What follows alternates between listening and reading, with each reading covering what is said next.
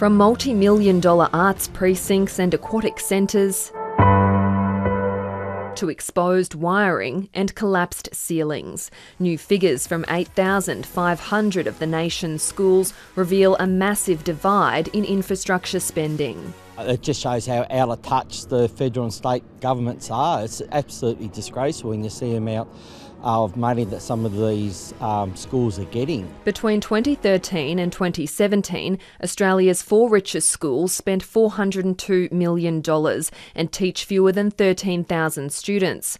The poorest 1,800 schools spent less than 370 million but teach 107,000 students.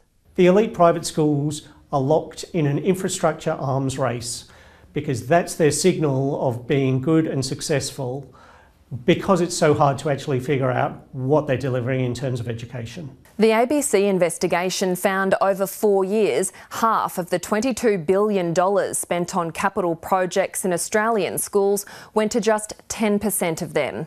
These schools teach fewer than 30% of Australia's students and are the country's richest. They also received almost 30% of the $8.6 billion in capital spending funded by government. Over the past decade, public funding to private schools has risen nearly twice as fast as public funding to public schools. The Australian Education Union is calling for a Commonwealth Capital Fund for public schools. When we see that uh, four elite private schools have spent more than 1,800 schools combined, it's a clear indication that there is something seriously wrong with school funding in Australia. The problem is there are schools across Australia that don't have what they need, especially when they're in growing areas.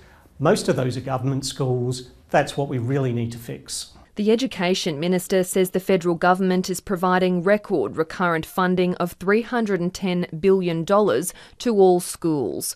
Both Catholic and independent school authorities emphasise the vast majority of their capital spend is funded privately, mostly by fees and school loans.